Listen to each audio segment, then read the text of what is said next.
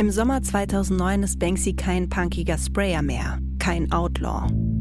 Seine Werke werden von Galeristen von der Straße weg und ohne moralische Bedenken weiterverkauft, wie ich euch in der letzten Folge erzählt habe. Ich bin stolz darauf, dass wir das Original aus London von der Wand runtergeholt haben und das zum Beispiel an einen sehr berühmten Regisseur in Hollywood verkauft haben. An wen?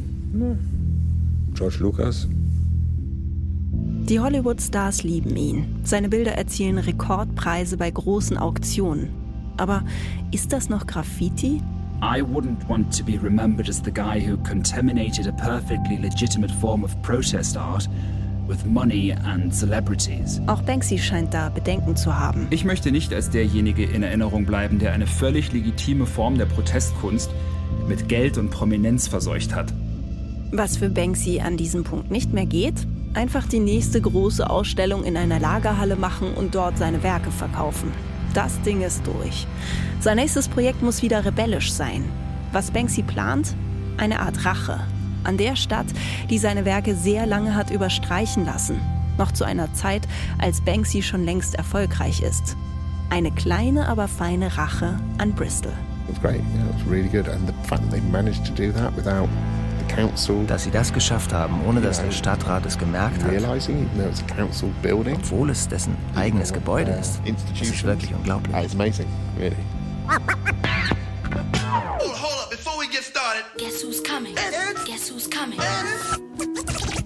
Coming? Ich bin Nordrun Schütz Back again. Who is it? und das ist Banksy. Rebellion oder Kitsch? Ein ARD Audiothek Original von RBB Kultur.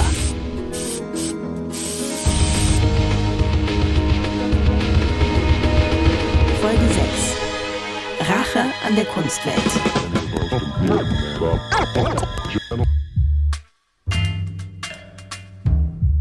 This is the first show I've ever done where taxpayers' money is being used to hang my pictures up. Dies ist die erste Ausstellung, die ich je gemacht habe, bei der das Geld der Steuerzahler dafür verwendet wird, meine Bilder aufzuhängen, rather than scrape them off, anstatt sie abzukratzen.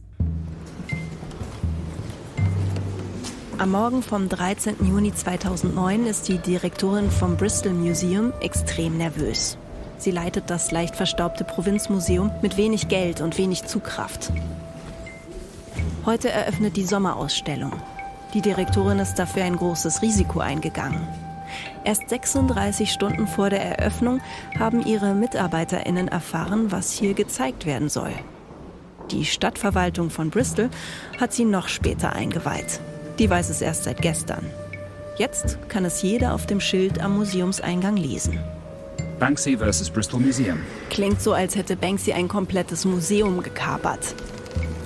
Plötzlich möchte die ganze Welt ins Provinzmuseum nach Bristol, an dem selbst die eigenen StadtbewohnerInnen normalerweise wenig Interesse zeigen.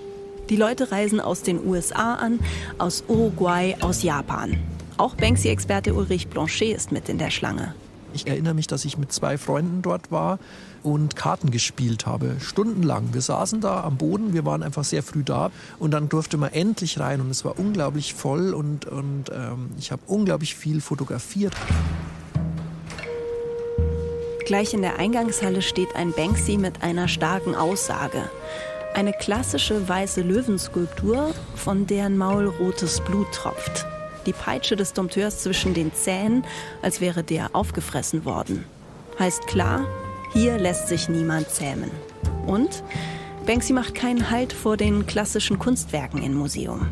Hier wird einfach alles auf den Kopf gestellt. Das Spannendste an der Ausstellung war ja sozusagen nicht dieser Banksy-Teil, der einfach der untere Teil war, sondern das Spannendste an der Ausstellung war, dass man ja durch die ganze Sammlung gegangen ist und, und alles angeschaut hat, weil es war einfach klar, in jeder Abteilung sind irgendwo Banksy-Sachen versteckt. Und man wollte die einfach finden. Es war wirklich wie so eine Schnitzeljagd. Eine Schnitzeljagd mit politischen Seitenhieben. An der historischen, kunstvoll geschnitzten Roma-Kutsche, die hier seit Jahren ausgestellt steht, klebt ein Zettel mit einem Räumungsbefehl. Das Rad ist mit einer Kralle blockiert. Banksy prangert Bristol an. Hier werden Lebensweisen verboten, Volksgruppen verfolgt. Banksy hat auch die Unterdrückung der freien Kulturszene in den 90ern nicht vergessen. Ein echter ausgebrannter Eiswagen und übereinander gestapelte Festivalklos stehen hier. Und dann da. Zwischen den ausgestopften Tieren des Museums bewegt sich etwas. In Terrarien. Lebensmittel. Man hatte dann zum Beispiel so Chicken McNuggets, die Füße hatten und die haben dann äh, gepickt wie Hühner. Und wo haben sie reingepickt? In so kleine Plastikdöschen mit so einer, mit so einer Chili-Soße. Heute wird mal keine echte Elefantendame ausgestellt. Hier mahnt Banksy Tierrechte an. Und schon geht's in die nächste Abteilung, zu den Mineralien. Er hat wirklich interagiert mit diesem Museum. Die Leute haben wirklich danach gesucht und es gab auch online dann wirklich Diskussionen darüber, wie kann man das noch finden, äh, wo ist denn noch was, was ist denn in der Abteilung, da habe ich noch gar nichts gefunden. Auch die historische Gemäldesammlung hat es abbekommen. Aus einem Ölgemälde mit Arbeiterinnen auf dem Feld hat Banksy eine Frau ausgeschnitten. Sie sitzt jetzt mit einer Zigarette in der Hand auf dem Goldrahmen und macht Pause. Da sie sich nicht wie die anderen zu Boden bückt, sieht man jetzt eindeutig, es ist eine schwarze Frau. Eine Sklavin? Auf jeden Fall ein passendes Bild in einem Museum der ehemaligen Hafenstadt, das voll ist von Schätzen aus der Kolonialzeit. Unter dem Banksy-Bild steht einfach nur Local Artist. Ich habe sehr viele Sachen gefunden, ich habe aber auch nicht alles gefunden. Und man hat auch nicht alles gefunden aus dem Grund, weil Banksy das im Laufe der Laufzeit der Ausstellung verändert hat. Viele gehen mehrmals in diese Ausstellung und werden vor allem von einem Banksy-Exponat magisch angezogen. Der Nachbau seines Ateliers seinen Aktenschrank, wo dann steht irgendwie gute Ideen, schlechte Ideen, Ideen anderer Leute und die verschiedenen Banksy-Tag-Schablonen in, in, fünf verschiedenen Größen und sowas. Also das war einfach sehr interessant, weil man ganz viel auch im Hintergrund hat gesagt, ah ja, das, das gehört zu dem Werk, ah, das gehört zu dem Werk, das ist ein Detail, was ich von dem Werk kenne. Das hier sind gebrauchte Schablonen. Echte Schablonen, mit denen Banksy früher illegal Graffitis in Bristol gesprayt hat. Die Schablone vom Blumenwerfer zum Beispiel. Quasi Beweismittel. Im Museum. Für die jahrzehntelange Verfolgung rächt sich Banksy jetzt. Er setzt die Puppe eines Polizisten in voller Kampfmontur auf ein Schaukelpferd.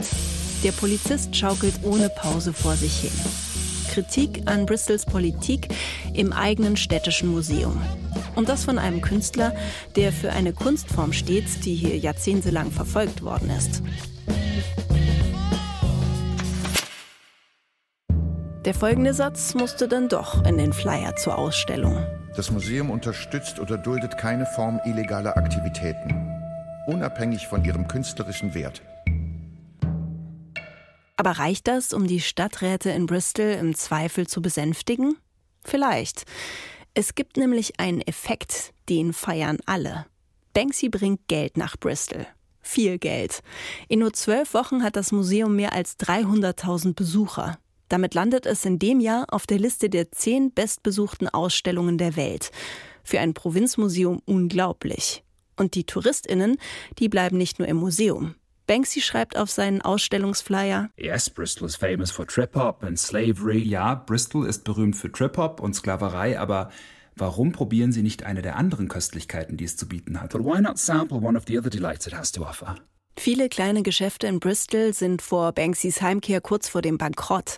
Damit fehlen Steuereinnahmen. Die Stadt spart, wo sie nur kann. Jetzt boomt das Geschäft für Hotels, Restaurants und Cafés. Bristol muss zwar wegen der nie dagewesenen Besuchermassen um die 60.000 Pfund für zusätzliche Sicherheitsmaßnahmen ausgeben, hat aber schon vor Ende der Ausstellung 15 Millionen Pfund raus. Es ist ganz klar, es lohnt sich, die Rache und die kleinen politischen Nadelstiche von Banksy auszuhalten. Und dass Banksy im jahrelangen Streit um Graffiti in Bristol das letzte Wort behält. Denn eigentlich ist diese Ausstellung das größte Geschenk, das Banksy seiner Heimatstadt machen konnte, wie die Bristol Evening Post schreibt. Auch die Graffiti-Sprayer der ersten Stunde in Bristol beobachten den Hype um Banksy. Die Auswirkungen waren phänomenal. Das ist Felix Brown alias FLX. Ihr kennt ihn aus der zweiten Folge. Ich kenne Leute, die damals im Stadtrat von Bristol gearbeitet haben. Deswegen weiß ich mit Sicherheit, dass dem städtischen Kunstteam nach der Ausstellung Banksy vs. Bristol Museum gesagt worden ist, geht los und kommt mit einer Idee für eine Veranstaltung im nächsten Jahr zurück, die zeigt, dass wir die Bedeutung von Street Art für diese Stadt verstehen. Inky, ein Künstler, der in den 80ern in Bristol wegen illegaler Graffiti vor Gericht musste, darf in den nächsten beiden Jahren ein großes Street Art Festival veranstalten. Mit internationalen Street Artists, die riesige Wände bemalen, mitten im Zentrum von Bristol. Dank Banksy. das ist also sein Vermächtnis in Bristol. Und dafür zolle ich ihm von ganzem Herzen Respekt. Aber es gibt auch Kritik. Journalisten, die Banksy vorwerfen, jetzt ein Museumskünstler zu sein und endgültig zum etablierten Kunstbetrieb zu gehören. Die können ihren Punkt allerdings nicht machen. Wie man im Vertrag mit dem Bristol Museum sieht, Banksy behält über diese Ausstellung komplett die Kontrolle und bleibt unabhängig. Er hat nur ein einziges symbolisches Pfund vom Museum angenommen. Den Rest bezahlt er selbst und stellt den Besuchermassen die Ausstellung sogar gratis zur Verfügung. Wie ein großzügiger anonymer Kunstmäzen. Aber so eine riesige Show, dann muss Banksy doch ein Team sein, oder? Banksy as an artist is one person. Banksy als Künstler ist eine Person. Aber dann gibt es ein Team von Kollektiven, Künstlern und Designern, mit denen er zusammenarbeitet. Das ist John Nation, der Banksy persönlich kennt. Ihr kennt ihn aus Folge 1 und 2. Aber wie kann Banksy dann seine Identität geheim halten bei so vielen MitwisserInnen? Geheimhaltungsklauseln. Das Team um Banksy muss in einem Vertrag unterschreiben, seine Identität niemals preiszugeben. Das ergibt natürlich alles Sinn. Ein Künstler, der mit Schablonengraffiti angefangen hat, warum sollte der es plötzlich schaffen, Chicken Nuggets und Polizisten auf Schaukelpferden so nachzubauen und elektronisch auszustatten, dass sie sich in Dauerschleife bewegen können? Er ist kein Spezialist auf diesen Gebieten, aber er kennt Leute, die es sind. Und es gibt einige Leute, die ich kenne, die an dieser Ausstellung mitgearbeitet haben und die Künstler in Bristol sind. Und einige dieser Leute arbeiten auch für Artman Animations. Have you heard of Aardman Animations? Das ist eine Produktionsfirma für Animationsfilme in Bristol, die ihr wahrscheinlich vor allem für ihre Filme mit den Knetfiguren Sean das Schaf und Wallace und Gromit kennt. Banksy arbeitet also mit der Filmbranche zusammen? Die Antwort ist ja. Und zwar schon lange. Sogar schon, bevor er seine Elefantenshow in Los Angeles eröffnet hat. Film ist unglaublich demokratisch und zugänglich. It's probably the best option if you actually want to change the world, not just redecorate it. Er ist wahrscheinlich die beste Option, wenn man die Welt tatsächlich verändern und nicht nur umdekorieren will. Nicht mal ein Jahr nachdem er im Bristol Museum war, macht Banksy künstlerisch etwas komplett Neues. Etwas, mit was bis dahin niemand gerechnet hat. Er bringt einen Film heraus, Exit Through the Gift Shop. Auf dem Sundance Festival und der Berlinale ist er schon gelaufen. In England feiert er im Februar 2010 Premiere. Inoffizielle Premiere. Und zwar in London im Banksy-Tunnel, dem Ort von Banksys Cannes Festival. Ein Wortwitz. Cannes Festival bedeutet Sprühdosenfestival. Klingt für Engländer aber gleich wie Filmfestspiele von Cannes. Im Tunnel sind Sitzreihen aufgebaut. Es ist feucht, kühl und schmutzig. Jeder hat erwartet, dass Banksy eine Street Art Doku macht. Das ist RJ Rushmore, ein Typ, der damals immer wieder von Banksy zu seinen Veranstaltungen eingeladen wird, weil er einen spannenden Blog über Street Art und Graffiti schreibt. Er ist 2010 bei einer Filmvorführung im Banksy-Tunnel mit dabei. Schon in den ersten Minuten, wo es diese tolle Montage von all dem Filmmaterial, von den verschiedensten Arten von Street Art und Graffiti gibt, denkst du, vielleicht werden die Leute sauer sein, dass Street Art durch diesen Film noch mehr zum Mainstream wird, als es das ohnehin schon ist. Aber es ist interessant.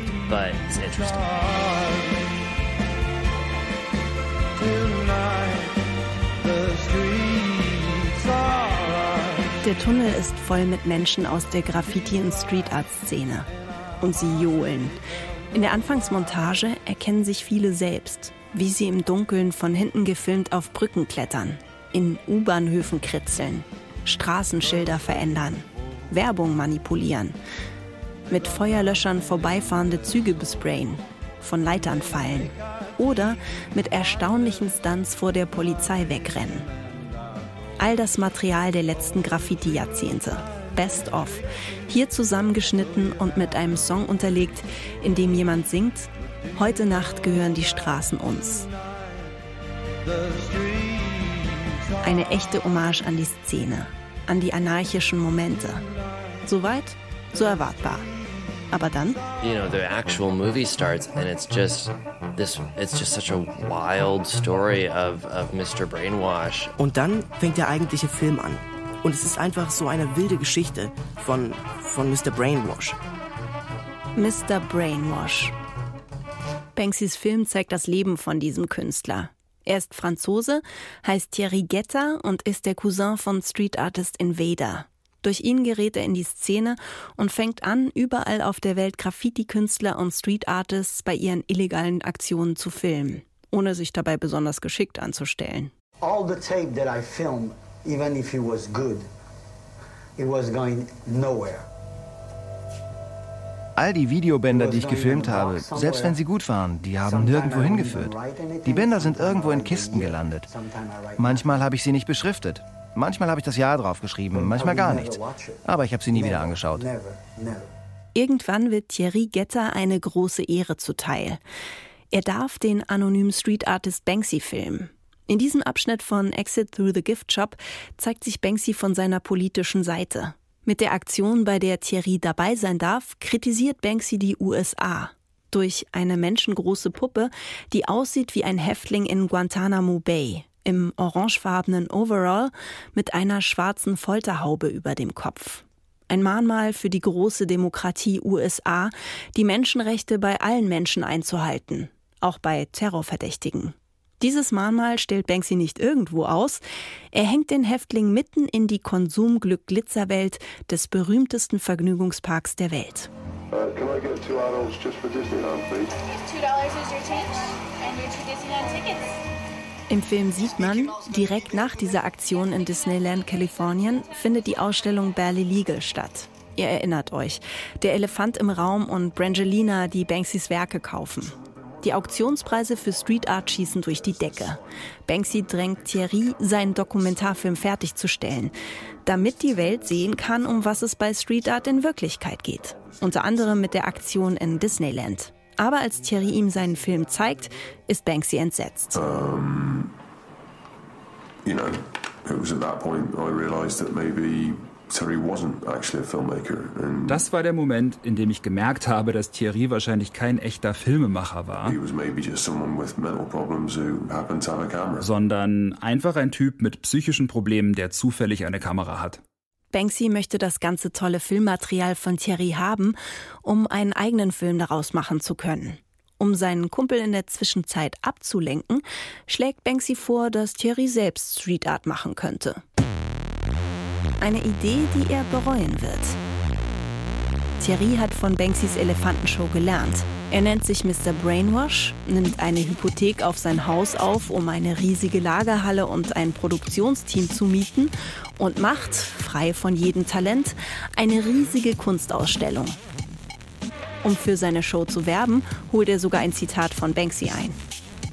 Mr. Brainwash is a force of nature. Mr. Brainwash ist eine Naturgewalt, er ist ein Phänomen. Is a phenomenon. Und ich meine das nicht im positiven Sinne. And I don't mean that in a good way.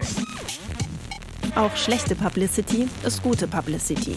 Die Zeitungsartikel bringen private Kunstsammler dazu, Thierry sogar noch vor der Eröffnung seiner ersten Ausstellung anzurufen und ihm seine Bilder für mehrere 10.000 Dollar abzukaufen.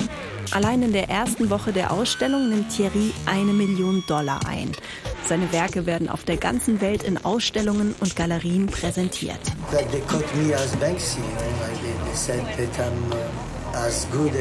Sie haben Bezug auf Banksy genommen und gesagt, dass ich genauso gut sei. Ich liebe das. Banksys Film zeigt mit viel Sarkasmus, Es geht nicht ums Können, es geht nicht um die Botschaft. Jeder Hans Wurst kann in der Kunstwelt kommerziell erfolgreich werden. Aktuell eben besonders gut mit Street Art. Deswegen auch der Filmtitel, der klingt wie ein Hinweisschild in einem komplett kommerzialisierten Museum. Exit through the Gift Shop. Banksys Fazit zum Film fällt dann auch eher ernüchternd aus. Früher habe ich jeden, den ich kannte, ermutigt, Kunst zu machen. Das tue ich jetzt nicht mehr so oft. Banksy hat mit diesem desillusionierenden Fazit bei R.J. Rushmore einen Nerv getroffen. Wie bei vielen bei der Premiere. Ich kann das so gut verstehen. I feel that. I so feel that. Durch seinen Blog ist RJ zu einem wichtigen Verfechter der Street Art und Graffiti-Szene geworden. Er weiß um die Ideale der Anfangszeit, demokratisch, niedrigschwellige Kunst auf der Straße für alle. Aber was er mittlerweile alles auf der Straße an Street Art sieht, das hält er kaum noch aus. Oh ich gehe durch die Lower East Side in New York und denke, oh mein Gott, diese Dinger, das ist so ein Mist. Und warum? Es sind all diese Leute, die von Banksy beeinflusst sind und einfach nur Mist machen. Und Aufmerksamkeit wollen und ihren Namen ganz groß auf ihr Werk kleben wollen, damit sie es verkaufen können. Und sie sagen, ich bin anonym. Und ich sage, du bist nicht anonym. Aber du hast dich entschieden, manchmal eine Maske zu tragen. Das ist etwas anderes. Du hast eine Mitgliedschaft im Soho-Haus. Right? Du bist nicht anonym. Kann man Banksy diese Entwicklung zum Vorwurf machen? Eher nicht. Was man ihm allerdings wirklich vorwerfen kann, er hat Mr. Brainwash erschaffen. Ohne Banksy wäre Mr. Brainwash wahrscheinlich niemals erfolgreich geworden. Es gibt da diese Stelle im Film, die das beweist.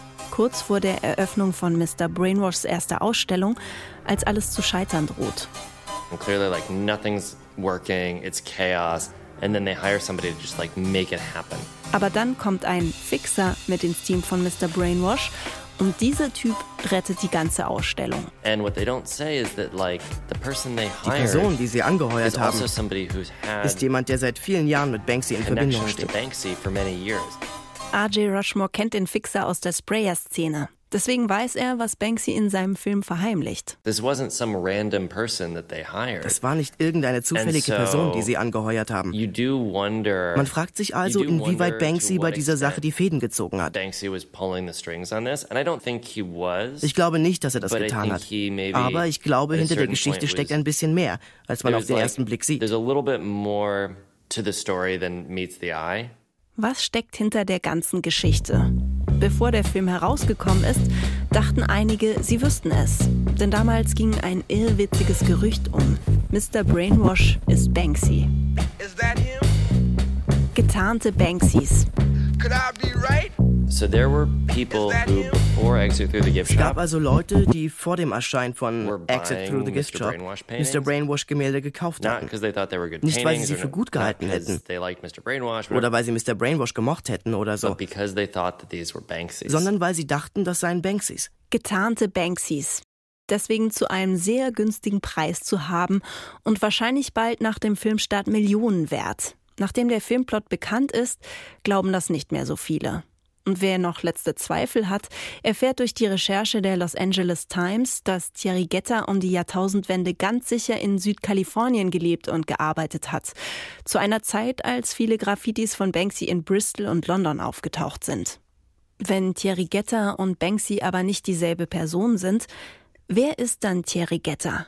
Ein gecasteter Schauspieler?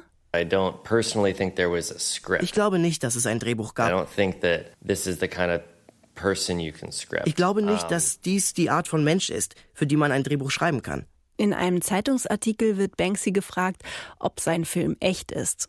Was auch immer das heißen soll.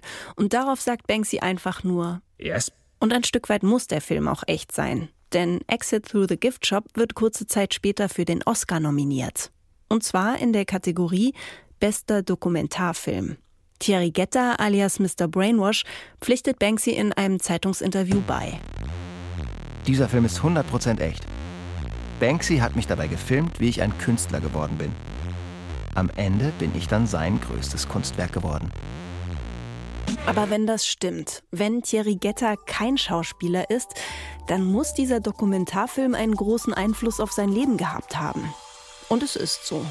Mr. Brainwashs Werke hängen heute in New Yorker Galerien neben Originalen von Damien Hirst oder Picasso und werden für 300.000 Dollar gehandelt. Seine Bilder funktionieren immer gleich. Mr. Brainwash klaut berühmte Motive, gerne von Banksy, und sprayt sie über einen Hintergrund, der aussieht wie eine alte, komplett mit verschiedenen Tags und Schablonen-Graffitis besprayte Wand, über die knallfarbige Schlieren laufen. Eine Kakophonie fürs Auge. Damit ist er bis heute sehr erfolgreich. Erst durfte er das Cover für eine Hitsammlung von Madonna entwerfen, dann hat Rihanna seine Ausstellung besucht und gerade erst hat er ein ganzes Mr. Brainwash Museum in Los Angeles eröffnet. Läuft bei ihm. Immer noch. 13 Jahre nachdem Banksys Film über ihn herausgekommen ist. Doch wie ist es eigentlich mit der Oscar-Nominierung weitergegangen? Ladies and Gentlemen, Oprah Winfrey. Es ist der 27. Februar 2011. Hier im Kodak Theater in Hollywood werden heute die Oscars vergeben. Gerade betritt Talkshow-Host Oprah Winfrey in langem Glitzerkleid die Bühne. Ihre Aufgabe ist es, gleich eine Karte aus einem Umschlag zu ziehen. Darauf steht ein Filmtitel. Der Gewinner des besten Dokumentarfilms 2011. Here are the nominees for Best Documentary Feature. Exit through the gift shop, Banksy and Jamie DeCruz. Die Kamera zeigt kurz Gesichter einiger Nominierter im Publikum. Kein Mann mit tief ins Gesicht gezogenem Hoodie mit dabei. Die Veranstalter der Oscarverleihung haben Banksys Anfrage abgelehnt. Er darf nicht mit Affenmaske erscheinen. Die Gefahr ist zu groß, dass Betrüger ihn nachahmen. Und wenn da fünf Menschen mit Affenmasken auf die Bühne steigen, wem geben sie dann den Preis? Banksy scheint nicht beleidigt zu sein. Immerhin sind in den Wochen kurz vor der Verleihung mehrere Graffitis von ihm in der Stadt aufgetaucht. Oder ist das eine Kampfansage? I don't agree with the concept of award ceremonies.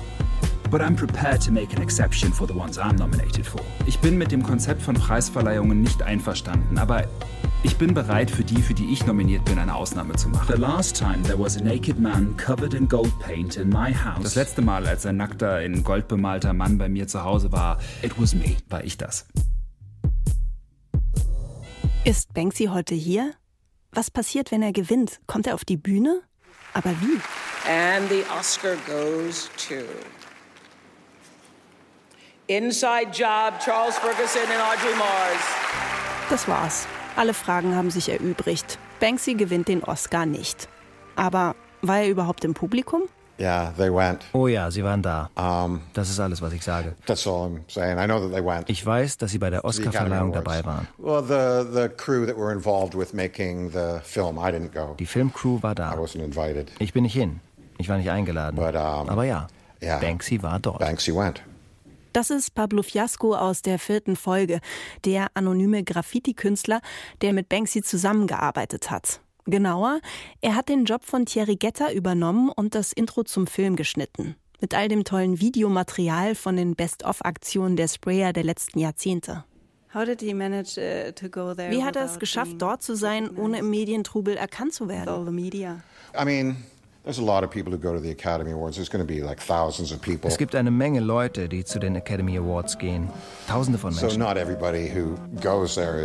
Nicht jeder, der hingeht, ist berühmt oder bekannt. Was dafür sprechen könnte, dass Banksy eine unscheinbare Person ist. Kein berühmter Musiker wie Robert Del Naya, kein bekannter Galerist wie Robin Barton.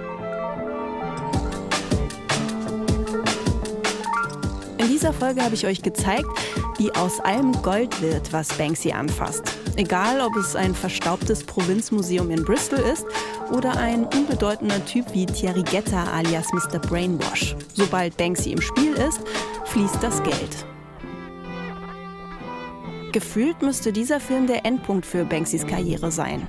Denn wie kann es weitergehen, wenn er allen gezeigt hat, dass Graffiti von kapitalistischen Interessen komplett vereinnahmt ist? Banksy muss also beweisen, dass er es immer noch kann, auf seine Weise. Er muss endlich wieder was Illegales machen, in den Straßen. Er reist dafür in eine gefährliche Gegend für Sprayer, zur Wiege des Graffiti, nach New York. Den Bürgermeister der Stadt gefällt das gar nicht. Auf privates oder öffentliches Gelände zu laufen und es zu verunstalten, das ist nicht meine Definition von Kunst.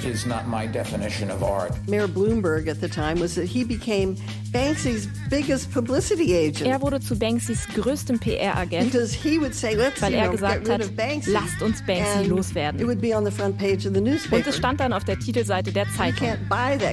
Diese Art von Werbung kann man sich nicht kaufen.